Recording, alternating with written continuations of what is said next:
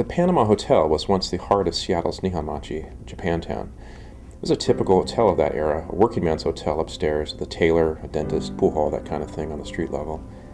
And like most Japanese owned hotels of that era, it also had a marble Shinto bath, a communal bathing area separated for men and women. Unfortunately, and tragically, when the entire population of Nihonmachi was taken away in 1942, it too was forced into closure and boarded up for the duration of the war. Internees were allowed to bring only what they could carry, so most families were forced to sell their homes, businesses, and belongings at pennies on the dollar, or store their possessions with friends in the basements of churches and other buildings, the Panama Hotel being one of those places. And those belongings remained there unclaimed and virtually untouched for 40 years. The Panama seemed like a natural place to continue that narrative, to tell the story of those belongings in the basement and who their owners were. Canton Alley and Maynard Alley were filled with apartments at the time. This is where I pictured Henry and his family living in a brick alley apartment overlooking some storefront. It's also the type of back alley, like this one, where I envisioned the scene where Henry and Keiko are hanging out behind the Black Elks Club when Oscar Holden first wanders out to take a smoke. The Wah Mee Club was actually a backroom gambling parlor and the place where my grandparents met. My grandfather was a blackjack dealer, and my grandmother was a coat check girl. The club was operational all the way until the mid 80s when it came to a terribly tragic end. I think a lot of people that grew up in the Seattle area like I did just assume that places like Chinatown spring up organically. Back before World War II, it was often illegal to sell property to minorities outside of designated areas. So the result was that these segregated communities emerged Japantown and Chinatown right next to each other, with South Jackson running down the middle. Jackson Street in its heyday was the beating heart of Seattle's jazz scene. The book touches upon Seattle in the 40s, when despite the war and rationing, there was this enormous economic boom in Seattle. At night, it was where people came to cut loose. At its peak, there were 38 jazz clubs on this one street. The Nippon Kan Theater, or Japanese Hall, was built in 1909 and quickly became the cultural center of Nihonmachi. It was home to traditional kabuki theater as well as movies, concerts, judo and kendo demonstrations, as well as community meetings. The Chong Wa Association was established in 1915 to give a unified voice to Washington's Chinese communities. They helped mediate disputes between families and rival tongs and also assisted in helping Chinese immigrants become American citizens. Plus, they still run a Chinese language school, the type of school that most of the kids Henry's age growing up attended. Bing Kung is a Tong, which was a type of organization formed by early Chinese immigrants. Through the turn of the century, the Tongs operated as secret societies, providing assistance and protection to its members. In Hotel, Henry's father is a prominent Bing Kung member and also a member of the Chong Wa Association. Filial piety, or respect for one's elders, is an aspect of Confucianism. That reverence for family members, especially for one highly regarded in the Bing Kung Association, plays a big role in the book and is obviously a source of emotional conflict for Henry. The China Gate restaurant was where we always went for big Chinese dinners.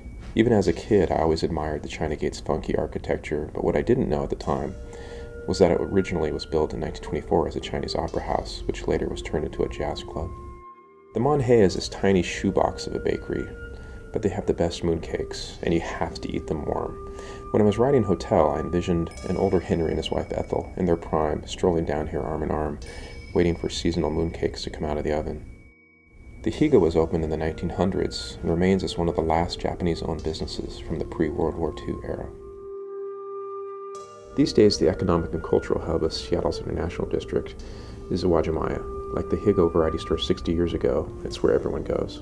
In my book, this is where Henry's son's fiance takes him to stock up for this great Chinese dinner she's planning to cook. She makes black bean crab and choice salmon with oyster sauce, which are two of my favorite dishes. To the west of Chinatown is Pioneer Square, which is where Bud's Jazz Records was. That's where Henry takes Ethel on one of their first dates. It's also probably where Sheldon would go to play street corners. Bud's Jazz Records had been around for nearly three decades, occupying this basement space downtown near Pioneer Square. In the book, since young Henry was such a fan of Oscar Holden and the whole West Coast jazz scene, it only seemed natural that the older version of Henry would come to Bud's to get away from his troubles and to haunt the dusty record bins for a long lost recording.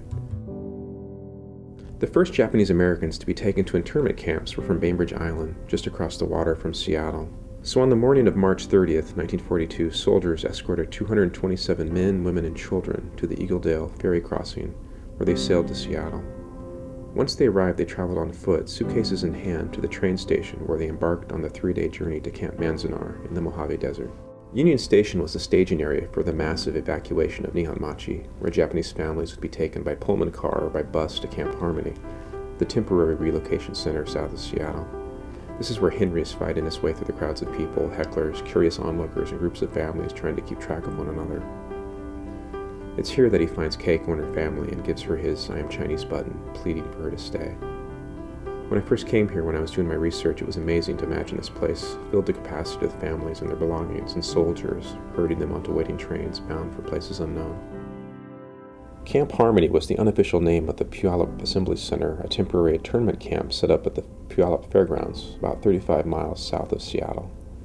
More than 7,000 people were forced onto what was basically a 40 acre parking lot Makeshift housing included the use of livestock pavilions, the cattle barns, as well as scores of box like buildings that were hastily constructed. And to make matters worse, there was no plumbing. And keep in mind, the residents weren't all strapping young men. There were older people, pregnant women, babies, and toddlers.